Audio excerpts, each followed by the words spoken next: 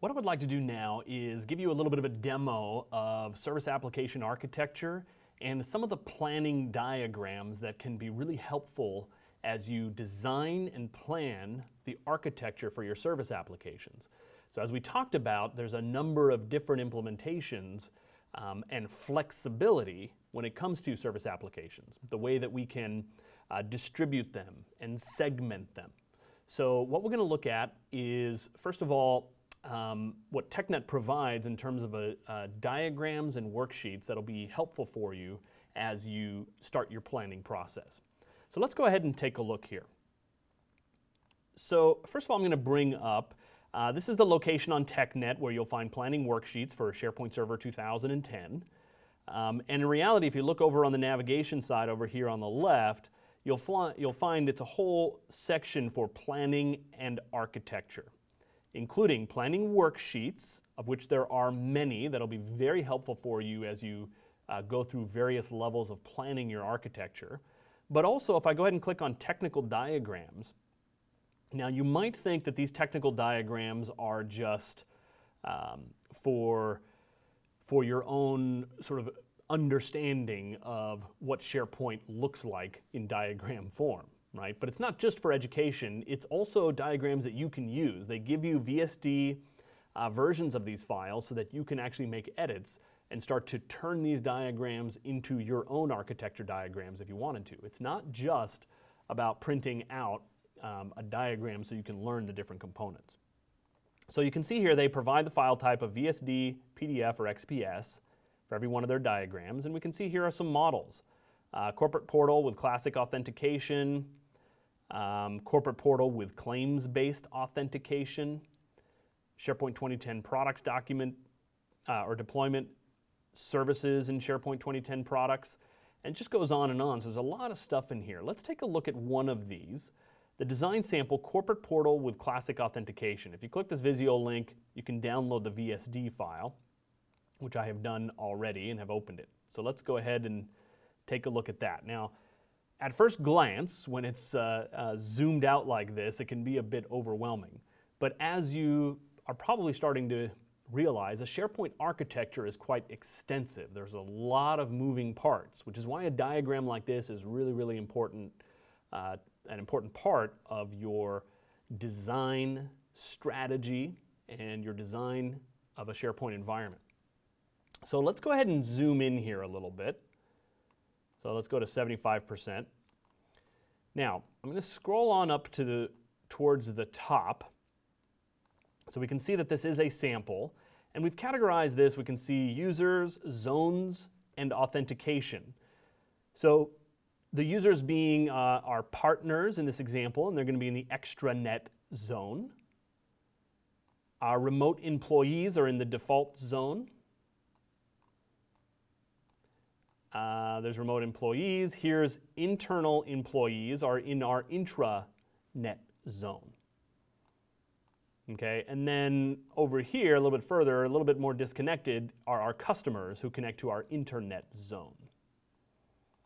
Now, internal employees, you can see these connections are going to bring us down. We're all connecting through a load balancer, which then shows us as we scroll up a little bit, we've got our front end servers, Okay, those are our web servers. And then we've got our application server. In this case, there's just one, but there can be multiple application servers. And our application pool.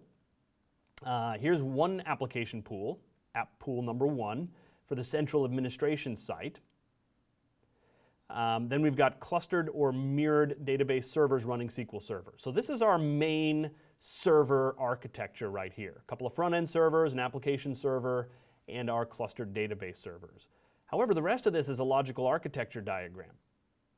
So as I scroll over, we can see here now we've got an additional IIS website, SharePoint Web Services. This is what we're really focused on in this particular module, which is our SharePoint application services, the web services. So in Application Pool 2, we can see here a lot of the various different um, service applications. Search, web analytics, managed metadata, the user profile service, Excel calculation services, access services, word viewing, and so on. So we can see how they're categorized in the different groups that we talked about. Here's a group called the default group, and it's the red box that goes around all of these. Okay, so these are application services that have been grouped and are assigned to other application pools. So here is application pool 3, which has uh, a web application and a site hierarchy for published intranet content. Here's one that has a site hierarchy for our team sites. So it's a different application pool, and we've dedicated our team sites to that. As I scroll across, I've got another web application for my sites. Okay, so a number of different applications, and notice they all use the default grouping of web services or application services, everything that's in that red. Now, notice this blue box. I've got Excel calculation services, Access, Word viewing, and so on. And it carries over to some other partition services that include some subscription settings, manage metadata, some more search stuff, um, and all of that is in a custom grouping. So we are pushing the custom grouping of services, which does not include all of them. We've segmented them. Right? Notice it does not include the user profile information, the business data connectivity, secure store, and a subset of the managed metadata. So we come back over here and see that the custom group is going to our partner web. This would be our extranet. So in other words, our partners have access to some of the services in the farm, but not all of the services in the farm. We don't want our partners to have access to our uh, uh, user profile service. Some of the managed metadata might be more private. So we're giving, we're, we're spreading the load of these applications and we're reusing some of them, uh, but not all of them. Scroll back up and there's one more red box here, which is another uh, usage of the default group for a different um, for a different farm, in this case specifically the internet group. So we're really just using some of the managed metadata and the search for the website. This is the company internet site. Now you'll notice it's also has some very specific content deployment coming across here from the extranet site. So this is where we can sort of author and deploy content across to the internet site utilizing um, a connection and a specific workflow of content deployment. So we'll get into that in more detail at a later time. But you can see here in this diagram that we've got an extensive amount of detail in terms of how we've planned out and how we've isolated and reused some of the application services uh, inside of this environment. Now, the reason this is important for you is that not only is it good from a learning perspective, you can take a look at this data and, um, and essentially learn from it as you plan yours, you can reuse these diagrams. So as you open them in Visio, you'll have editing capability, you can rename some of these things, you can move some of these boxes around and make them fit your environment.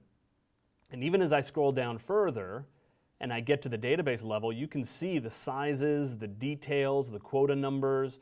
Um, obviously, those are examples of numbers that you would want to change in your environment and could change in your environment. A lot of detail, and as you continue to scroll through the rest of this Visio document, you'll see a, a lot more additional information, like a place where you can enter the URLs of the various different zones. So it ends up being a very detailed strategic document that will help you Remember, this should be a living document. You will continue to make changes to the document every time that uh, you, you, need to. Don't leave it as a static uh, document. So that's a little bit about how we um, can utilize some of what Microsoft has provided for us in order to develop uh, a plan and a strategy for designing our application services in SharePoint 2010.